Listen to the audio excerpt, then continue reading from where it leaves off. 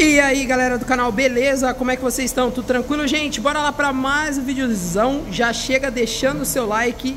Se você não é inscrito aqui no canal Pedro919, se inscreva para não perder mais nenhum vídeo, tanto de lançamento, quanto de motinha mexida, quanto de tudo que der na telha.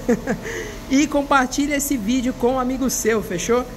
Rapaziada, a gente está aqui na Motoasa, na unidade do Ipiranga, fechou? Vou deixar os links na descrição para vocês entrarem em contato caso vocês queiram comprar uma motoca, um desses super lançamentos que a Honda está fazendo para 2025. Vou deixar tudo aqui na descrição, então vai lá, manda uma mensagem pro vendedor aqui, vai te atender e vai fazer as melhores condições, belezeira? Rapaziada, de primeira mão para vocês, a gente tem a última Startinha 160 e a gente tem a nova Start 160 2025. Vou mostrar tudo o que mudou para vocês. Então já prepara a pipoca, já prepara a Coca Zero. Senta aí, mano, que o vídeo hoje é sem pressa, tá? Eu vou mostrar tudo que dá para mostrar e tudo que mudou de uma moto para outra do ano de 2024 para o ano de 2025. Beleza? Primeira coisa que eu quero falar, eu adorava a Start. Você achava lá, mano, muito daorinha, uma motinha redondinha. Mas a nova tá entregando demais, galera. É o que eu falei no vídeo da Startinha sozinha. Ela veio basicamente uma Titan, mano.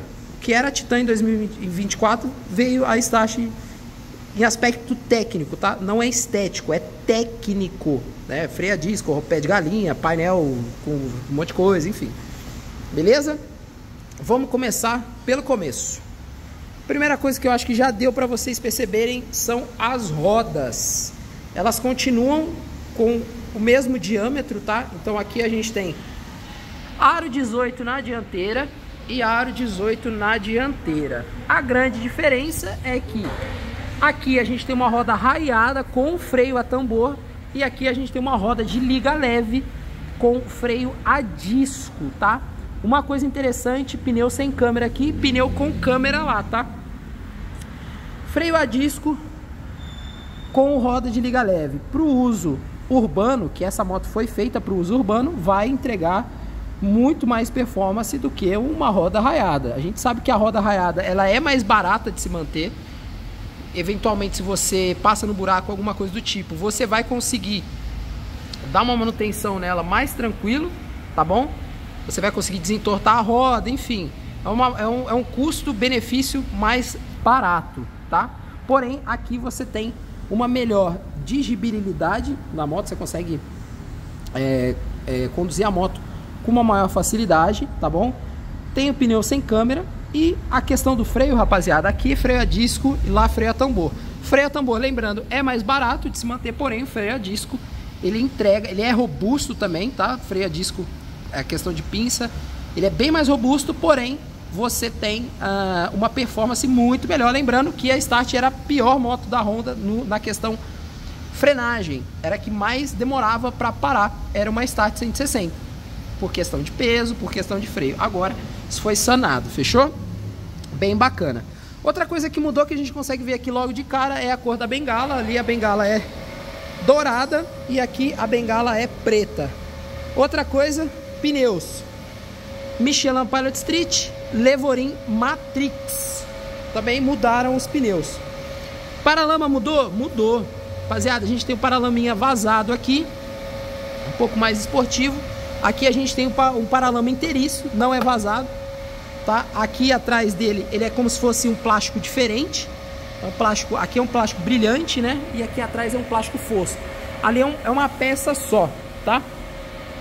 Bom, dando continuidade, Suspensão dianteira, aqui a gente tem um milímetro um pouco menor, né? A gente tem uma, um diâmetro um pouco menor, aqui a gente já tem um diâmetro um pouco maior. Cara, não tem nada para eu medir aqui. Vou ver se eu... Ah, enfim. Mas é diferente, tá? Ali a gente já tem um diâmetro um pouco maior, beleza? Outra coisa bem interessante é, é que é basicamente a suspensão que, que, que vinha, né? A suspensão dianteira da Start era diferente.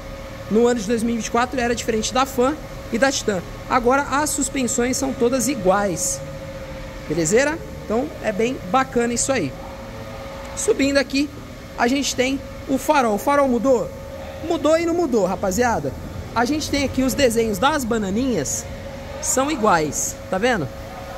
Desenho da bananinha é igual, o, o globo ótico em si é igual também. Porém, o que mudou foi aqui em cima.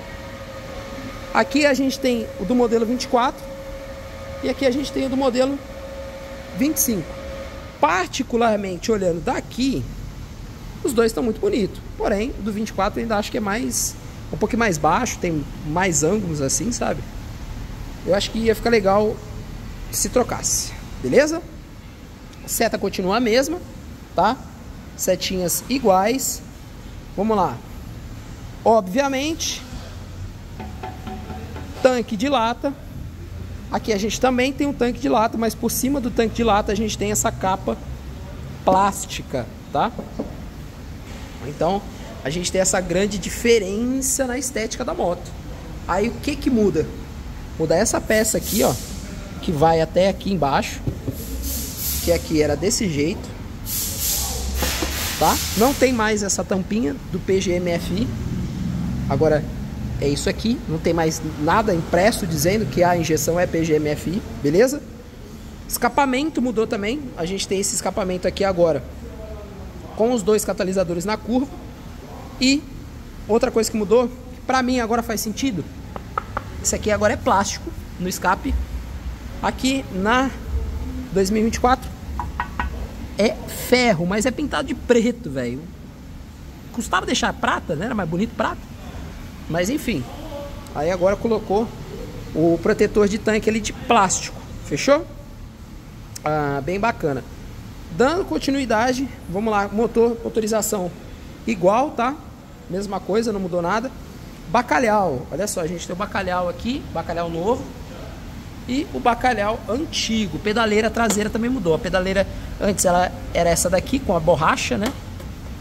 Agora a pedaleira é de alumínio. Beleza? Então isso aí mudou também. Tá? Ah, bom, rapaziada, não sei se vai dar pra vocês perceberem um pouco, mas a gente tem um amortecedor aqui, ó. Esse amortecedor aqui e um amortecedor ali, ó. O amortecedor da 2025, ele tem uma mola um pouquinho maior, um pouquinho mais densa, tá? A próxima coisa que mudou, balança. Aqui a gente tem a balancinha antiga, vou mostrar aqui de baixo para vocês, ó. A balança antiga que é aquela tubular, né? E aqui a gente tem a nova balança, que é no esqueminha tipo da Twister, né? Ela não é de alumínio, mas ela tem esse formato aí mais robusto.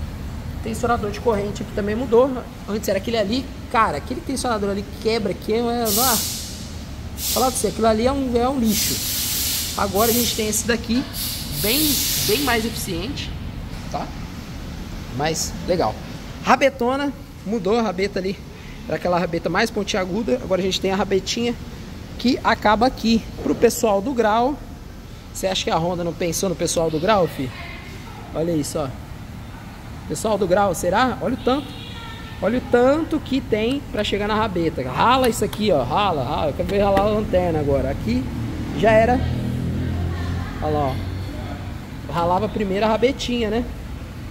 Agora aqui ficou bem mais curtinho, então vai ralar isso aqui, beleza? Então a Honda aí pensando no pessoal 244, olha só. Banco também mudou. O banco agora ele acaba abruptamente aqui. Ali a gente tinha seguindo o formato da da rabeta, né? Que tinha essa isso aqui mudou também. Alça, né? Alça, essa alça velha aqui. Agora virou essa belíssima alça em alumínio aqui, ó, bem bacana, tá?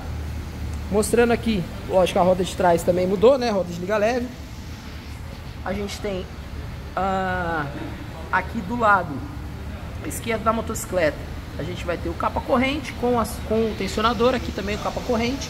O capa corrente, como vocês viram, mudaram também. O capa corrente, o design do capa corrente mudou. O bacalhau do lado de cá também mudou, né? Óbvio. Bom, e é isso. Vamos falar agora do painel. Painelzinho Vamos ligar esse painelzinho. Ah, aqui, aqui é onde ela brilha, filho. aqui é onde ela dá show. Painel da nova Start, mais que completo. Ele é igual o painel da, da, da Titan, só que com fundo branco, que eu acho mais bonito. Seta para esquerda, seta para direita, luz do farol alto. Tá? E aqui a gente tem a luz da injeção. Beleza? Além disso, a luz da injeção. Além disso, a gente tem combustível, marcha engatada, RPM, velocidade. Aqui em cima a gente tem duas funções que é a média de combustível, o relógio e o consumo instantâneo. Embaixo a gente tem o trip total, trip A e trip B, bem completo. Agora vamos lá no painel da startinha antiga. Aí rapaziada, dá, dá show ou não dá show, hein? Aqui a gente consegue ver o seguinte, que ele tem só o trip total e o trip, total e trip, não tem mais nada. Combustível e velocidade. Então o painel ali da nova é infinitamente mais completo. Além do que só tem um pisca de seta, não fala qual que é a seta que está piscando, né? E basicamente isso. Então ali a gente tem um painel bem mais completo. E aqui é o fundo laranjinha ainda, né? Bem diferente do, do modelo novo, né? Olha como é que ficou bem mais completo. É isso que eu falo, rapaziada. A Startinha hoje está entregando muito. Motorzinho igual. Somente a gasolina.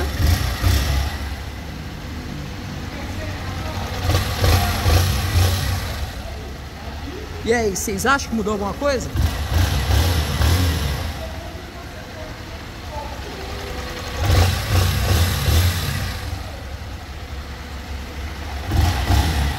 Eu tô te falando, mudou a caixa de ar dessa moto, mano. Porque o barulhinho da 2025 é um pouquinho mais encorpado. Beleza? Rapaziada, é isso. Eu espero que vocês tenham gostado.